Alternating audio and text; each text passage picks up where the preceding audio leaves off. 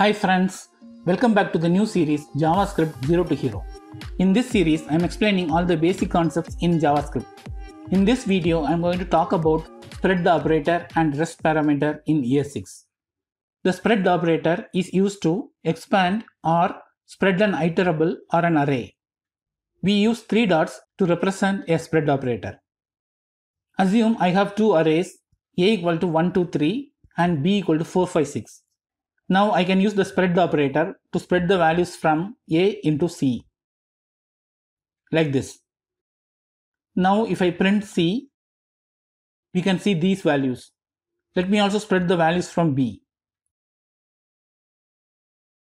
Now we can see the array C is having values from both A and B. Now let me have a new array called request in which I have two strings. Please subscribe. When I print this, we can see this. If I want to print each as a string instead of an array, I can either loop through the array and print each string or I can do it like this. So that we can see this. The drawback of this approach is if I add two more strings, we need to modify this code to include them also. Instead, we can use the spread the operator to spread these values inside console log function like this. And we can also use the spread the operator to spread the properties in an object. Let me create one object where I have some properties. And let me also create another object where I have some more properties. Now let me have a third object in which I can spread the properties from object 1 and object 2. So when I print object 3, we can see this. Now let's see about rest parameter. When the spread operator is used as a parameter, it is known as the rest parameter.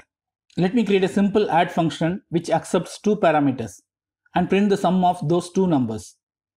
When I pass 5, comma 3, we get 8. Good. But if I want to add three numbers, I need to copy this function and add another parameter. So instead, we can use a rest parameter like this. Now if I print this, we can see it is printing an array.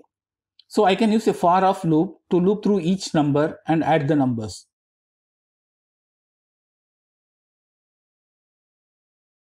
Like this. So when I pass 5, comma 3, we get 8. And when I pass 5, comma 3, comma 4, we get 12.